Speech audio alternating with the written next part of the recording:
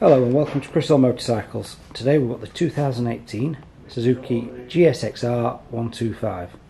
Real nice clean bike. This is one previous owner and it's only done three and a half thousand miles. And as you can see from the service book, it's already got four service stamps in the book.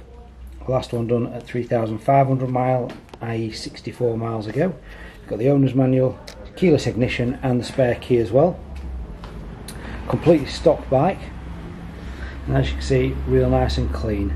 Loads of meat left on the back tyre. Just real nice and clean. Got a bit of a marking just here. Not sure if it shows up in the camera. Not sure what that is.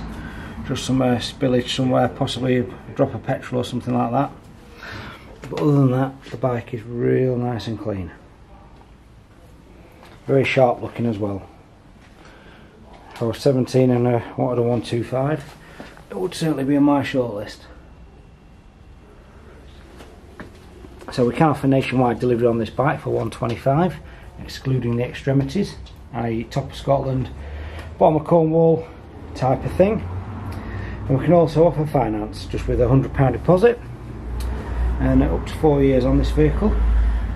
So if you've got any questions at all just uh, drop me a line on 01302 760 967 or you can email us at chrishallmotorcycles at googlemail.com if you'd like to keep up to date with uh, the vehicles landing on our YouTube channel please like and subscribe. Have a good day folks. Cheers